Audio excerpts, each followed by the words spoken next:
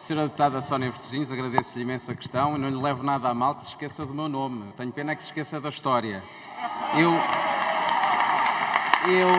Eh, eu esperava que o PS, para lhe responder até rapidamente, eu esperava que o PS pudesse ter vindo aqui dizer que o Governo esteve bem em algumas coisas, quanto à pandemia, e, e esteve, que não esteve tão bem noutras, se calhar até tendo sido demasiado voluntarioso em algumas delas e depois cobrando as expectativas às pessoas, mas que enfim que vai incentivar o Governo a melhorar.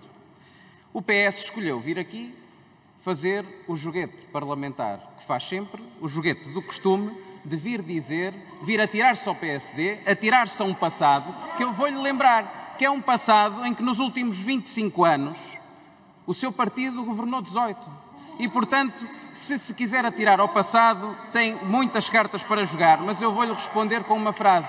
Enquanto a senhora deputada faz esse joguete, as pessoas que estão em casa ficam exatamente na mesma, sem resposta nenhuma para o futuro. Enquanto faz isso, as pessoas perdem o interesse na política. Aliás, respondo-lhe com o que lhe diria talvez, com o que lhe diria talvez alguém que está numa fila a pedir comida.